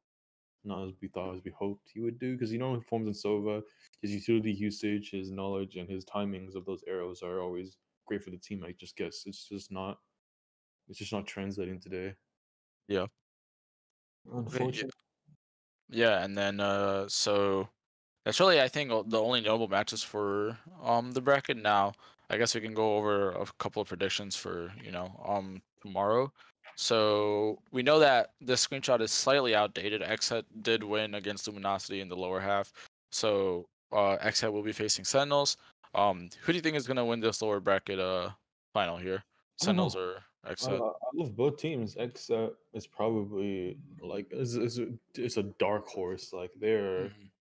they're all of them are very very good players. Like Arvin, we did. They're all great players. But I just I, I don't think at this point, just based off like the way the teams are performing in like past tournaments and stuff, and when they show up, I still think Sentinels are gonna win because Yeah, I would tend to agree. they're still the number one team for now. Yeah, I mean it's kind of interesting to note. Like yesterday, um, XSET in their match against Envy, Envy they lost 2-0. One map was 13. I think map two was 13-7, but map one was 13-1. They definitely were not having a good day. Um, you know, then they beat X uh FaZe Clan, and then now uh we they are where they are today. Um, I don't know whether or not that match was just them underperforming or Envy just you know completely having um their number. Interesting, Uh, right? yeah. Interesting, interesting right now that the I just remembered that the VCT right now is being played on a previous patch, so the Stinger, Arena, Frenzy nerfs are not here yet. So Mhm. Sentinels still have the upper hand because they're the one that introduced the Stinger Frenzy meta as of now. Mhm. So potentially, maybe when this patch is over, we're going to see some different results. But as of now, Yeah. they're still being played on the old patch. Right. So running gun, Stinger go burr, Frenzy go burr, still there. Yeah. Yeah, I, think I kind of tend to agree with what you said. Uh, Sentinels, I think, will take this one. I think they've just been looking really good this past tournament. Now, you know, obviously their match against Envy was close, but they did go out. But I think Sentinels are the type of team. I mean, it's like the Sinatraa Classic. You know, you go into the lower bracket, you make the lower bracket run, and then you just absolutely do well in the uh, in the grand final. Um, speaking of the final, uh, so upper final, who do you think will is gonna win that? Envy or Immortals? Oh, this is hard. I f- Yeah. Envy, Envy, Envy finally looked pretty good because they decided to put food on Duelist and he's showing up hard. He's he's playing very very well. Immortals, same with Immortals. Both teams are playing. Shot up, started to pick up the breach now. I thought that the rain. I thought the Reyna changes were still. I thought the Reyna changes still haven't gone yet. So the fact that he's still playing breach is interesting. Like pocket pick. No one. I get. I don't think. I don't think anyone could have seen his breach picking coming because he's the only. Yeah, I mean, guy, right? Yeah, I I thought he was only like a, a Reyna one trick essentially. It- it's really weird because their coach was like, "Yeah, like I don't agree with the Reyna pick, but he, he just got on it, so we just let him play the Reyna." like I, I was always thinking, but I guess now maybe they they potentially they might be actually using this to practice for the upcoming patch. because I was like, I was like, I was like, oh, it's interesting, you know. Like when I first looked- looked at the results and, or the picks, I was still like, it's interesting, you know. They're they have they have shot up on the breach. Oh yeah, the Reyna patches are coming out. Then I remembered, wait a minute, they're still playing the old patch. Reyna nerfs aren't there, so why is he picking the breach? Maybe he finally decided to look at it, listen to his coach, and help the team. But at the same time, he was also helping the team with his Reyna. So I don't know. Maybe we might see the Reyna back against the N- against NV, or maybe the breach pick will be permanent after the patch is over. Yeah. It's gonna be Uh, difficult to say. Both teams are playing very, very well. Yeah, I think. Yeah, I mean, I feel like it's really too close to call. Um, if I really, really had to pick one, I feel like overall Immortals might be the team to go for. I just feel like when Immortals are on their, you know, when when Immortals are feeling good, they're just uh, they're just rolling over everybody. That's that's what that's what it feel like to me. And uh, Mhm. you know, if you count if you count on something like that happening tomorrow, I think. If both player teams are playing at their peak like tomorrow, I think overall Immortals are the ones that I would just have to favor. You know. Mm-hmm. Yeah. Again, we'll see. We're excited for the match tomorrow, and let's hope. Yeah. All right. So now let's move on to EU. Um, not really a lot to talk about in terms of roster changes or anything. Um, you know, OG finally officially signs Monkey Business, and uh, Happy actually reported to leave uh Giants. Um, now Happy leaving Giants is really interesting because Happy is considered to be like one of the you know better players in EU. Um, so him leaving Giants I'm not really sure what this means. Maybe he's going to another org. Maybe there was some sort of falling out. You know, we still have to really see. There's a lot, yeah. There's a lot of stuff that we can't really say unless we have the insider information. So now it's just speculation at this point. Yeah. Um, and then yeah, I mean, we talk about OG signing monkey business. I guess we can talk about more about that later with um, when we go over the bracket. But let's first talk about uh, Team Liquid. Team Liquid failed to qualify. Um, again, uh, they lose to Alliance. Um, now, I think part of it kind of has to do with like their map pool. Um, it kind of just feels like right now Team One has really mastered only you know a couple of maps. Their Haven still looks pretty abysmal, uh, pretty abysmal. Um, their icebox doesn't look bad. Um, but I think really like the only I'm not really really even sure what map it, um could be considered the best. Let's actually I'm gonna take a look on uh VLR real quick. Uh, if you look at their maps, their highest win rate is on. Okay, this was not streamed, right? It wasn't streamed, right? Mm, I think it was actually Was it? I thought it was. I thought this was played off stream. because they went out to Alliance. Um, but I mean, right now, like Haven, uh, not Haven. Haven is actually their their their highest map uh map win map wow map win rate, but it definitely has not felt like that for the past few weeks. But after that, Ascent is their is their highest, and from recent memory, their Ascent has looked good. But I think overall, it's just that I don't know. Their the map pool. I feel like if it's not Ascent or even Icebox right now, it's just it's too hard to you know go for like predict Team Liquid to win to win a map, or or at least consistently win a map unless it's I thought Team Liquid got stomped at Nicebox. They lost 13-1, no? Second map? yeah. This one they did actually, but I, I think overall their win rate is something like eighty three percent on Icebox. Interesting. Yeah, this is actually their first loss on Icebox. Yeah, this past one was their their first loss on Icebox. Interesting, because usually they have. I don't know. I, I, at this point, many at this point, from what I can see, just like EC1S is. They they they definitely need a roster change because he's not really living up. He had a good map on Icebox. He had a good. He played decent on Icebox, but they and then again you can't really play decent when you get stomped 13-1. And in uh and in- in the other next two maps, he barely he couldn't even she barely could get up to he barely um I guess went over 100 combat score, which is not that good because you can be an in-game leader and a support player, but at the same time, if you're if your excuse as as a because they're better, much better support players are able to support properly. Like I see people they're trying to defend him. They're trying to say that you know he's a support player, he's an in-game leader. You know they can't really cut him because he's vital to the team. But we have there's a lot of like in CS:GO, maybe even in in Valorant too. There's a lot of in CS:GO in-game leaders are able to frag, get those impact frags, even trade properly. and he seems to be unable to do that. So a roster change is definitely needed. And otherwise, uh, at this point, Team Liquid just not living up to their hype. It's just right now. I, I'm just saying right now, it's still Scream, maybe Kryptix, but the rest don't seem to be there. Yeah, I, I think one of the biggest issues with TL it has to do with consistency because I think there are some times where they just they just look absolutely great, right?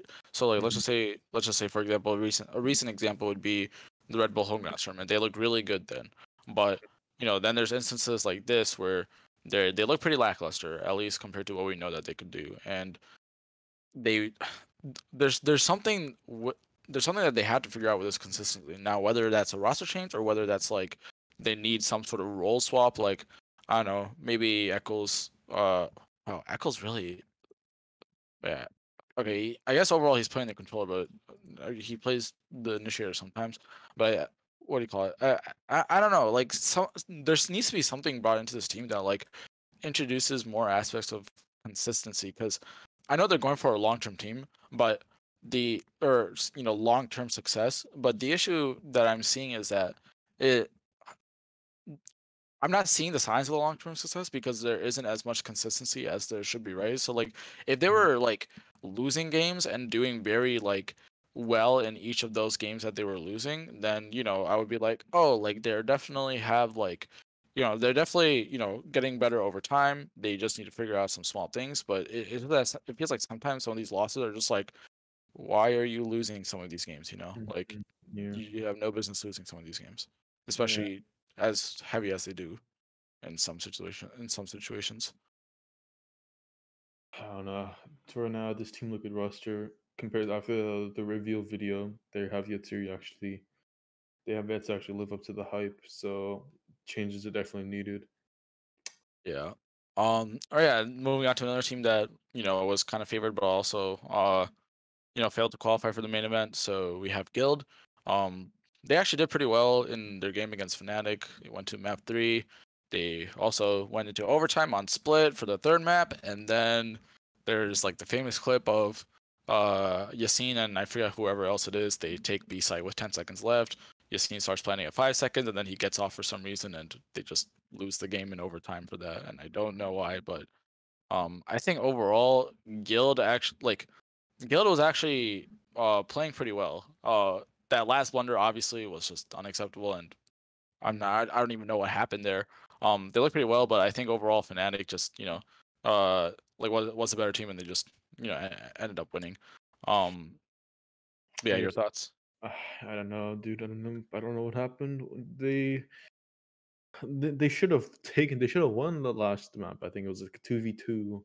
Yeah, it was a two v two. But I don't know. Maybe he might have fumbled it. Maybe he heard someone really close or something. It might have been his own teammate, and I guess the nerve just got to him. And Yeah, or maybe he was like, I don't know. I I, I didn't get to see it like because the the cam the, the camera perspective wasn't like too I clear. think I think it looked like he tried to plant from B main, which is like directly out. in the Yeah. But that, then that's then that's what were I was thinking too. they were calling. I guess they heard the ropes. They heard the ropes like go up to heaven. So they're like, no, no, no, no, no, go plant like default stuff like that. Yeah, right? yeah. That that's Yeah. what I was thinking too. I think it was something like he was planning somewhere, and then they were like, "No, don't plant there, plant here instead." And then, you know, they just didn't have enough time. Um, which is you know a big communication error uh, overall. Now, uh, Fnatic on the hand looking pretty good. Um, but then in their next game, um, wait, let me actually pull up.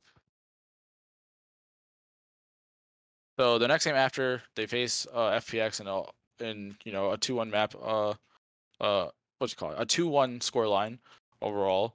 Um, yeah, FPX officially take uh the what do you call it? Take the ch- uh, spot for Masters, which I think has been rebranded to Challengers Final because it's not international anymore or it's not on land anymore.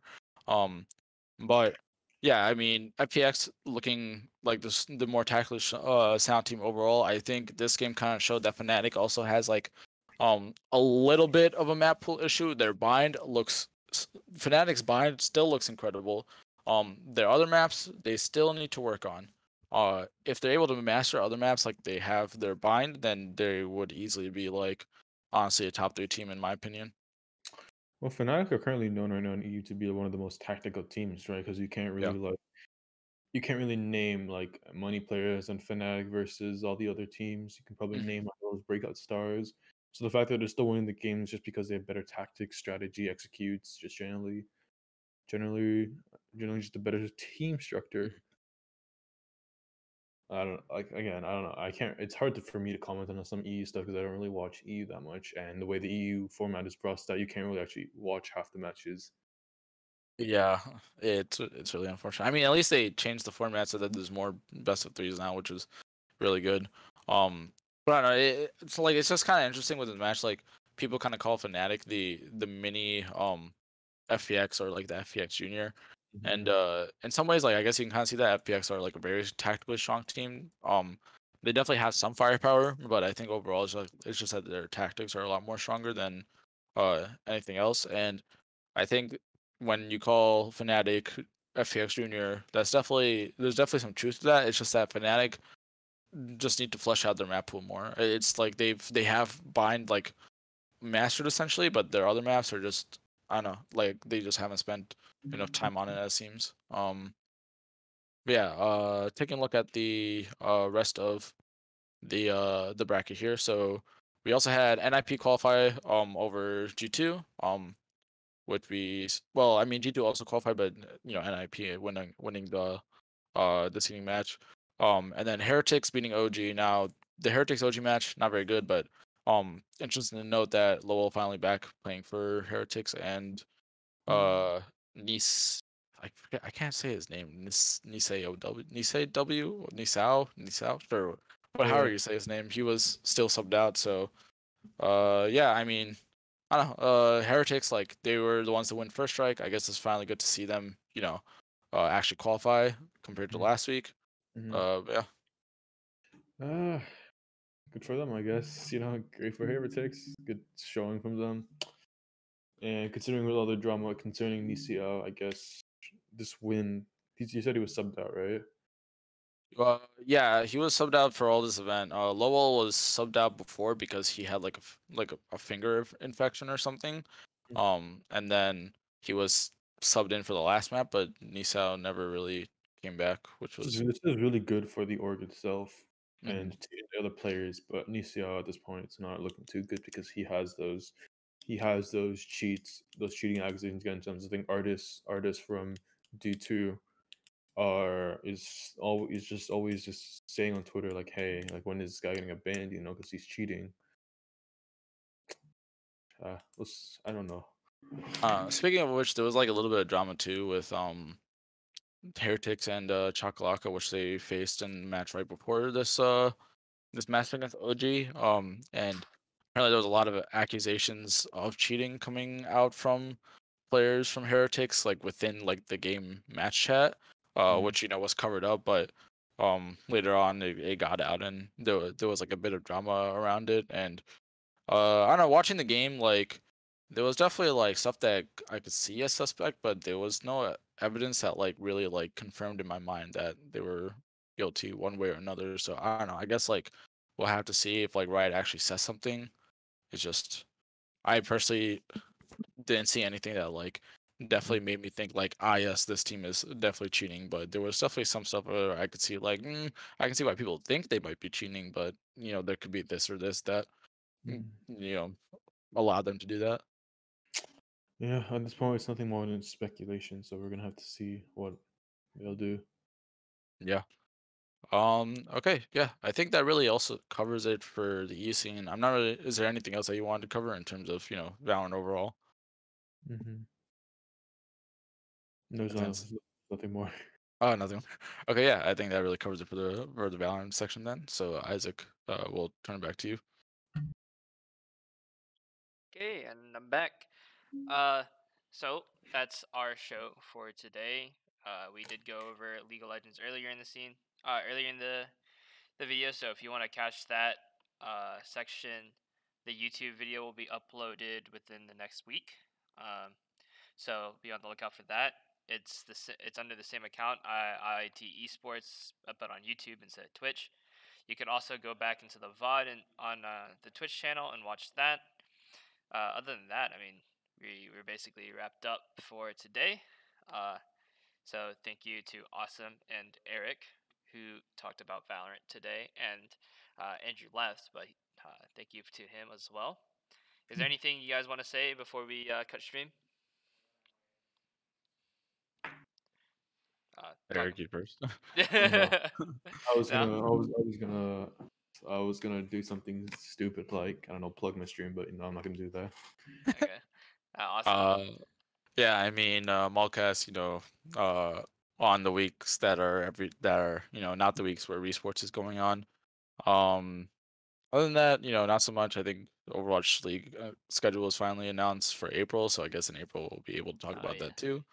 But oh yeah, yeah, we also had a what in house for Overwatch yesterday. How'd that go? Oh yeah, it went really well. You know, uh, a lot of people showed up both in and outside of uh, the school, and uh, I think you know, it kind of just again again goes to show how like great these community events are, not only for growing the community, but also just you know having the community more involved with each other. Um, so we'll definitely be looking out to do more of those. Just keeping an eye an eye out in you know the announcement chat at, on our Discord at IIT Esports.